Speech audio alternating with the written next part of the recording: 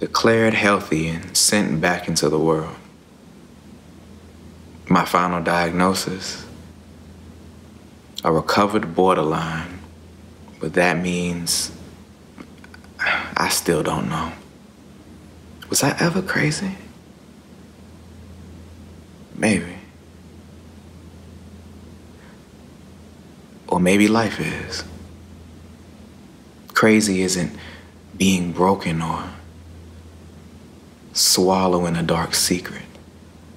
It's you and me, amplified.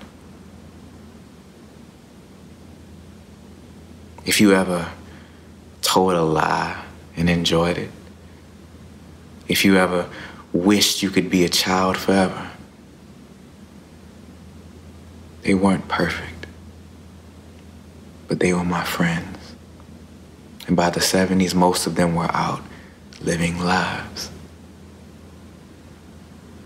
Some I've seen, some never again. But there is not a day my heart doesn't find them.